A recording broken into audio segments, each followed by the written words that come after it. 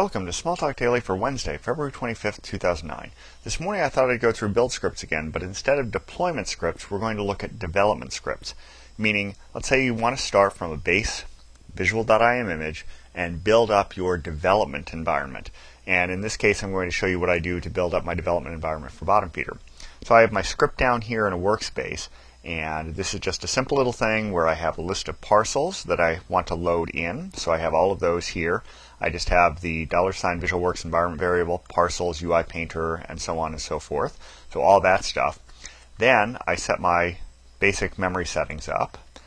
Then I come down here and I load in the repositories. Now you might ask, how do I know where those are? Well, if I come up here, I can import and export repositories through the launcher. All I did is I exported these repositories out to repositories.xml and then likewise when I start up I can import them.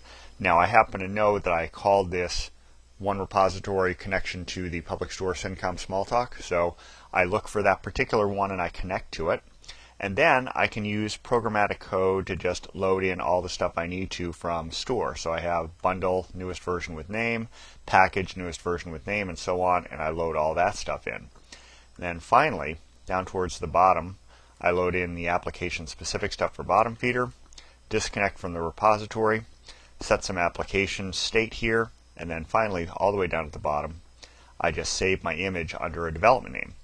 Now, the cool thing about this is I don't even need to highlight all this code and load it in. What I can do is quit this image, and then what I can do is bring a shell, and I can do something like this, dot slash start VW on visual.im minus filein build-bf-dev.st and what you're going to see is it's going to start filing stuff in from that file which in turn goes ahead and loads the parcels then connects to a store repository and then loads things in and finally saves the image. Now that's going to take a little bit because there's a whole lot going on so I'm going to pause while things scroll through the transcript.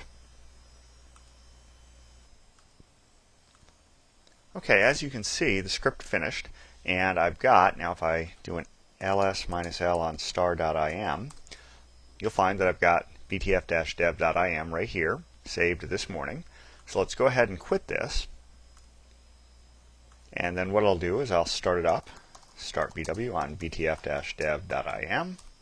And you can see I started the image up. If I go to the Tools menu, I have bottom feeder right there. Fire that up. And there it is. There's my bottom feeder image in the development environment, and I can bring posts up. So that's all there is to it. I create a script that loads my parcels, connects to a repository, loads everything from the repository, and then I just forget it until it finishes saving, and then I can go back to work. So that's about it. We'll leave it there for today. Till next time, have fun with Smalltalk.